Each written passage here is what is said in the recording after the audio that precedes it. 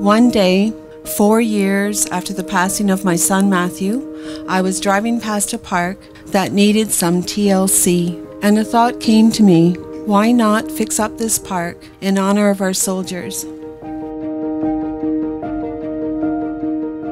I'd like to start by saying how honored and pleased I am to be with you here today to dedicate this amazing project, Bravery Park, to my friend and colleague, Corporal Matt McCully. Being a soldier is about service, duty, bravery, and sacrifice. And I was very eager to get overseas and do my job as a Canadian soldier.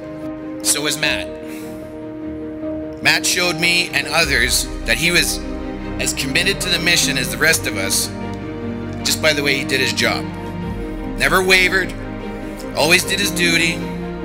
He was just as keen at midnight on a long day that started at midnight the day before as he was at 10 a.m. with a coffee in his hand and that goofy smile that always endeared me to him. We love that guy.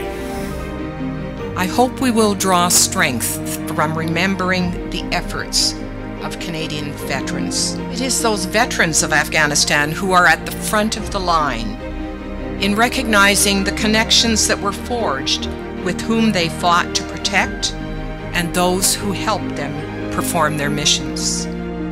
Although this park is often portrayed as a memorial to my brother, it isn't and never was. He inspired it. But this park has always been about all of you.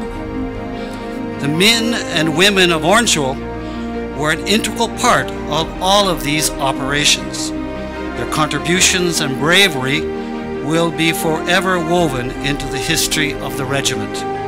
We will remember them, lest we forget. Bravery, it's not the absence of fear, but the willingness to proceed in spite of it. To Shannon and Valerie McGrady, out of tragedy and loss, you have steadfastly and persistently worked at this project for years to ensure that Matthew's sacrifice was not in vain and that we remember and salute all of our past, present, and future Canadian Forces personnel. Thank you, Matthew. You are remembered for all time.